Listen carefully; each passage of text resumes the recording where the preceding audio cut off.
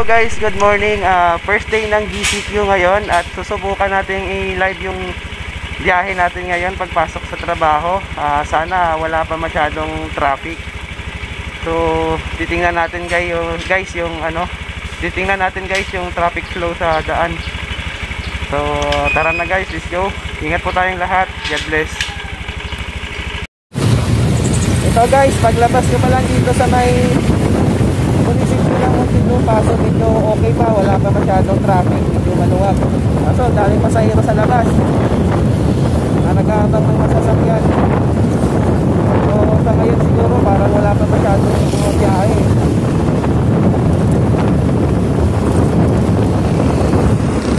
So, as of this moment po, uh, medyo maluwag pa yung kalsada natin dito sa National Road, sa may Muntinlupa. Ang biyahe natin ngayon guys is uh, from Muntinlupa to Makati. Uh, doon sa siya pumapasok sa Makati. Sana uh, wala pa masyadong traffic ngayon. Ngayong first day ng CQ. So, sana lang. So, hindi natin alam pagdating natin ng Alabang kasi madalas doon yung traffic. Ito na ako ngayon sa may Summit Hill. Muntinlupa.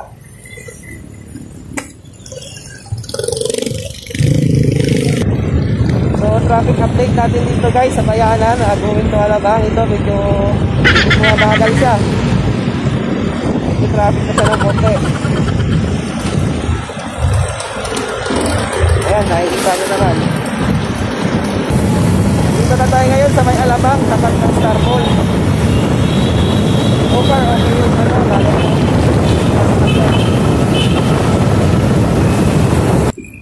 So ito, nandito na tayo ngayon sa may East Service Road, uh, going to Sugat. Uh, kung makikita nyo, ito medyo mabagal na yung mga sasakyan. So, sabihin ito, tumatikip na yung traffic. At ganito lagi. Mas lalo na pag nasa normal situation na tayo, mas matraffic dito. Traffic daan.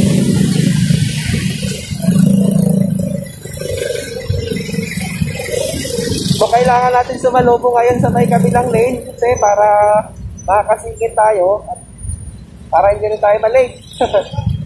Hindi ko malayo-layo pa yung biyahe ko. Makati pa.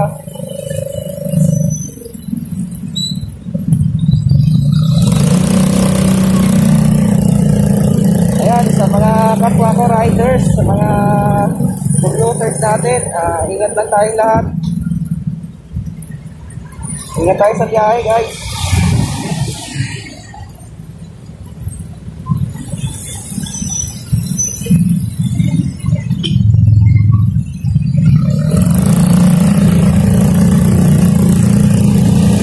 So, medyo mabagal talaga yung daloy ng mga sasakyan.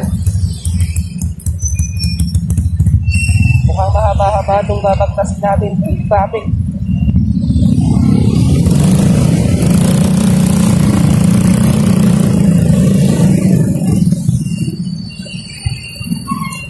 Isa katulad ng mga nakaraang araw nung naka-ECQ tayo, medyo maluwag dito. Tuloy-tuloy lang yung takbo. Ngayon, medyo mabagal. Pahinto-hinto. Kasi alam ko, biyahe na yata lahat din ngayon mga sasakyan. Mga biyahe na rin siguro ngayon.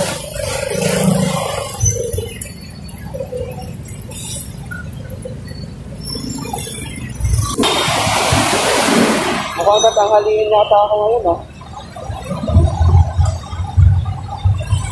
Medyo mabigat yung paling ng traffic ko, eh. Yung mali kasi tinatakbo ko lang yung ano, traffic ng Sinupa sa Makati ng 25 to 40 minutes. May kasama pang paglilipat yun. So, ayun. Ano yata ako? Kaya sasakyan,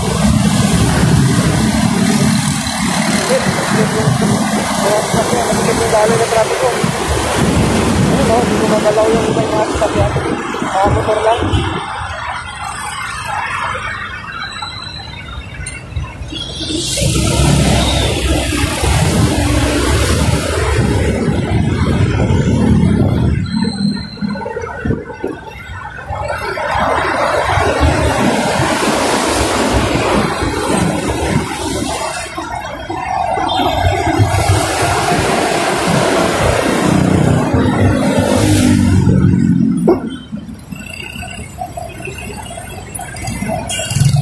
First day of PCQ. Traffic ka agad.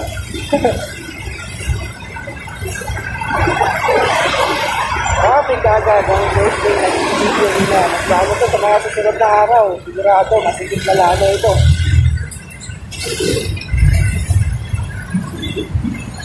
Ayan, wala nang gala. Alright, nasa Tanyag na tayo ngayon guys. Uh, himala na walang traffic dito ngayon.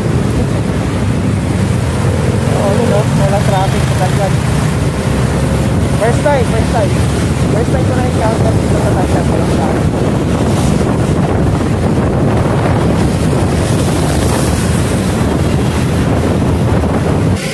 Kaso, nandito pala yung traffic sa paakyat ng Tigutan.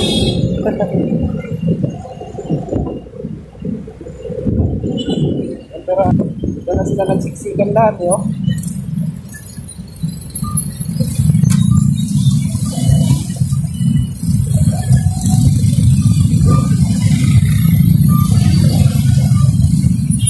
Dito pala sa ilalim ng post brake ng tutan.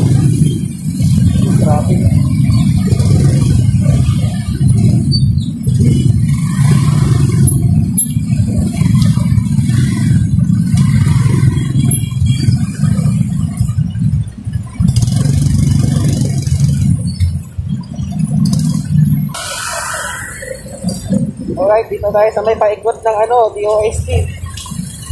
So, may traffic pa rin talaga.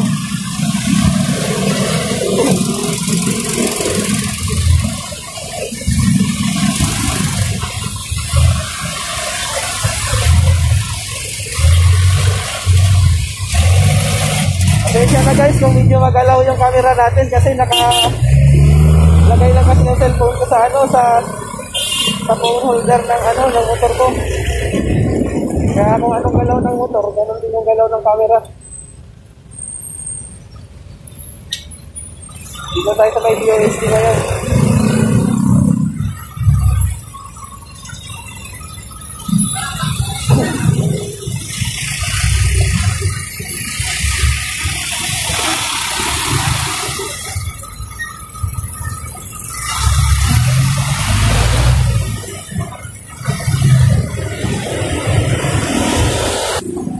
So ito guys, wala na namang galawan yung mga sasakyan dito sa may service road pa rin. Uh, papuntang ano to, FPI na yata to dito.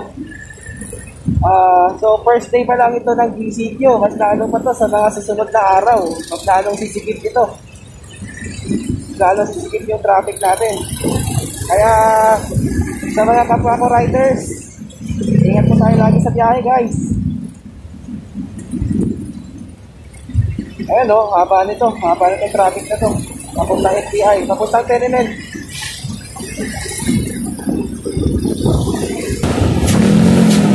So, nandito na ako ngayon guys sa may Tesla.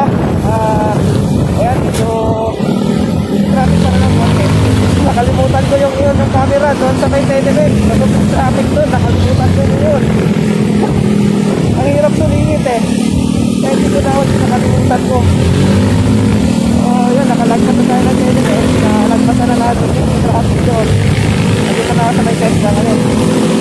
Papunta na ako ng ano, uh, Fort Bonifacio sa may gate 3. Pagdating ko ng gate 3, kakaliwa po ako ng pasok na ko. Dire-diretso lang yan. Papuntang Pasay Road. Going to Paseo de Rojas. So, ganito lagi ako ito, araw-araw. Habang walang pasok yung asawa ko, dito ako nadaan kasi may pinakamalapit na daan, maliban sa C5. Pag pasok na kasi asawa ko, nag-C5 kami sa, sa DGC kasi siya nagtatrabaho. So, since wala ko sa pasok ngayon, uh, dito ko na ako tinadaan. May pinakamalapit na daan, papunta sa trabaho ko.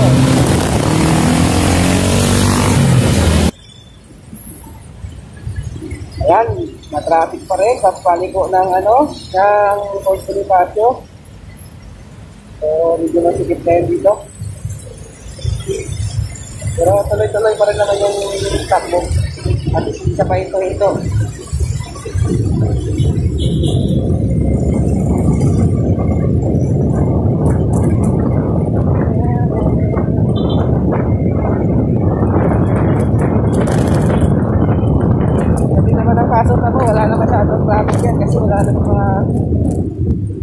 Public transport dyan na dumadaan. Ayun, ito, medyo traffic dito sa stoplight lang naman to.